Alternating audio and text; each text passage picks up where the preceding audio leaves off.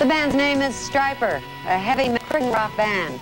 Robert Sweet is the drummer of the group, Michael Sweet is the vocalist, and their mom, Janice Sweet, is Stryper's manager. Welcome to all of you. You know, every time somebody says something about heavy metal, you know that there is the aspect of the language, the words, the devil, that it gets kids inflamed and gets them into bad habits and very suggestive. How do you respond to that? Well, I guess we do it with a different type of message to the same type of music. Um, I wouldn't really call Stryper heavy metal to be truthful. I would uh, say that we're just a, a, rock and roll band out there who is kind of rebelling against what is in the in the marketplace today. Mm -hmm. uh, we want to stand for something good. Rock and roll is good music, and it deserves it.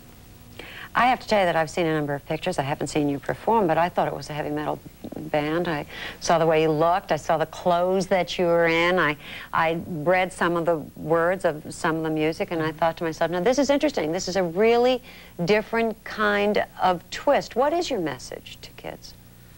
Our message is uh, one thing only. Uh, you know, we, we've all been through a lot throughout our lives, each band member in Stryper, and uh, Christ has changed our lives. So we want to share with not just kids, but everybody of the world what Christ can do if you call on his name, what mm -hmm. he can mm-hmm. do in your life if you're going through problems or whatever. You, you say something very interesting, though. You, you, you talk about the name of an album, In God We Trust, the mm -hmm. idea that this country was founded on religious freedom. And right. I, I'm, is that the message that you give, religious freedom and the idea of, of looking to God? For this album, the message that we're trying to get across is don't put your trust in money.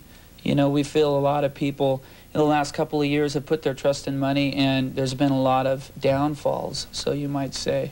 Uh, we've seen it, you know, the whole world, it's been exposed to the world and I don't have to mention names, but uh, that, that's what happens when you put your trust in a material thing, a mm -hmm. piece of paper. Mm -hmm. But if you look to what the piece of paper says, it says, in God we trust, yet the majority of the world doesn't truly trust in God. And if they were to do so, I think there'd be a lot less problems in the world today. Mm -hmm. And I'd, I'd just like to add, we understand how it's hard for some people uh, to believe there is a God. And we're hoping that we can encourage the world to, to believe in him uh, because there's hope in that.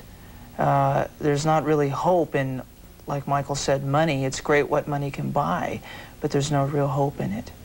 Janice, when did you recognize that your boys had this kind of potential?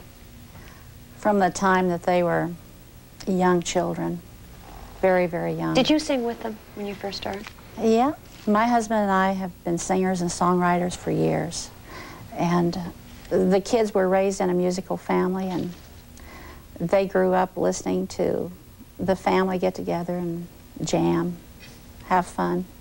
Did you ever think about songs. calling the group Sweet Mother and her Sugar Cubes? No. Oh, sorry, I just couldn't resist. I mean, I love Sweet Mother, just sings to me. You must have been teased about that a lot, or oh, Mother Sweet. Yeah. I mean, I've had years of bet. teasing about that. I'll Didn't bet. we think about calling the group Sweet at one time? A long, long but time ago. There was the group Sweet, you know, already, so. You guys got in a little trouble, I understand. You put a um, picture of a dollar bill or a replica on a, a cover. Did that create a little problem for no, you? No, what happened is in the beginning when the artwork uh, went under going, uh, it was a little too close. And, I uh, they didn't like that, so. The government didn't like that, right, so, so we, we changed it enough. I guess the color, you know, the coloring of the uh, cover itself, and uh, it was acceptable. Janice, I was reading a report, one of the churches in Michigan, as a matter of fact, talked about the fact that we're not heavy, uh, happy with heavy metal and the association with Christianity and didn't like uh -huh. the idea of throwing Bibles into the audience. Uh -huh. Respond, you know, with so much going on in the church, your son mentioned it himself, we constantly bring up the same names and mention people, but how are people to see this when it takes on at least the trappings of a variety of other things? I think the church needs to wake up. The church, a lot of people in the church today are, they're just, they're just not really aware of what's going on in the world. Mm -hmm. They're in their own little day-to-day -day existence, and they don't really know what it takes to reach those kids that are out there. Plus, I, I would like to say we really don't take on any religious or church type of trappings whatsoever. We just want to be really outspoken and, and say to people, don't fall into this little category of where you put your trust in a church or you put your trust in a man. Don't put your tr- trust in a religion. Uh, Absolutely. you get to the, the focus of, of what it is, and that's put, putting your trust in Christ, and it's really cool.